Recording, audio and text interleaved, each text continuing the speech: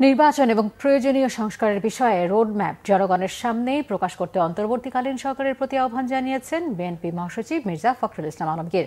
তিনি বলেন, শেখ হাসিনার দোসরদের অন্তর্বর্তী সরকারের আশেপাশে জনগণ দেখতে চায় না। রিপোর্ট করছেন সেকান্দার রেমান। সাবেক প্রধানমন্ত্রী কাজী জাফর আহমেদের নবম মৃত্যুবার্ষিকীর স্মরণ সভাটি হয় জাতীয় প্রেস ক্লাবে।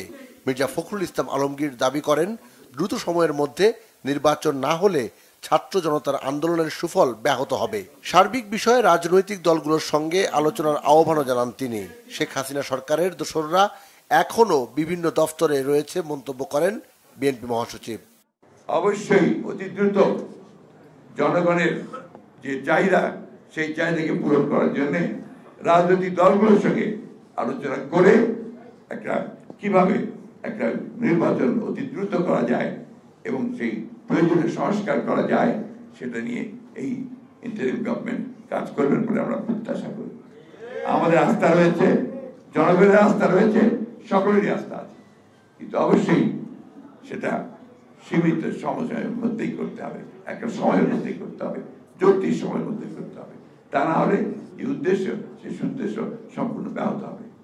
এদিকে বিএনপির নতুন ভাইস চেয়ারম্যান নুরুল ইসলাম মনিকে সাথে নিয়ে দলের প্রতিষ্ঠাতা শহীদ রাষ্ট্রপতি জিয়াউর রহমানের মাজার জিয়ারতে যান বিএনপির স্থায়ী কমিটির সদস্য অবসরপ্রাপ্ত মেজর হাফিজউদ্দিন আহমদ।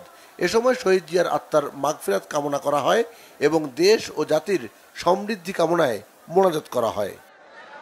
পরে সাংবাদিকদের মেজর হাফিজ বলেন, আওয়ামী লীগের দীর্ঘদিনের জঞ্জাল, অর্থনীতির ক্ষতি কাটিয়ে ওঠা এবং গুম খুনের বিরুদ্ধে ব্যবস্থা নিতে সরকারকে সময় দিতে হবে।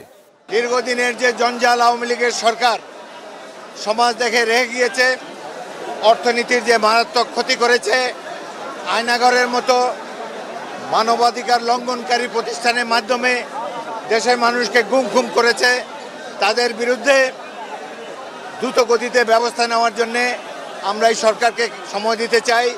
আমরা আশা করি, একটি যৌক্তিক সময়ে তারা একটি যৌক্তিক সময়ে তারা জনপ্রতিনিধিদের কাছে সুষ্ঠু নির্বাচনের মাধ্যমে ক্ষমতা হস্তান্তরের উদ্যোগ নেবেন।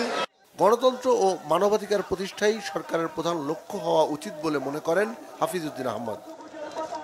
সিকান্দার রেমান বাংলা ভিশন ঢাকা।